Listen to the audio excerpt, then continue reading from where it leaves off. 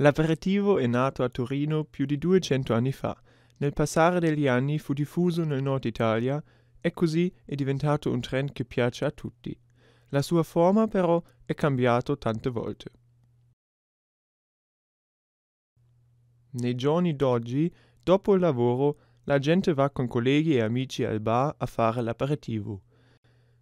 Lì si beve accompagnando la bevanda da stuzzichini salati.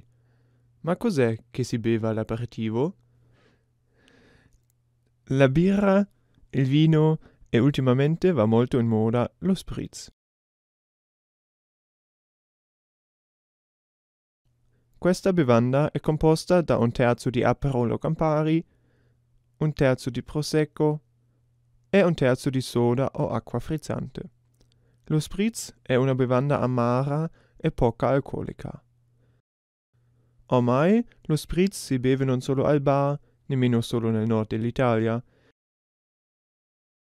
ma anche nel resto d'Europa.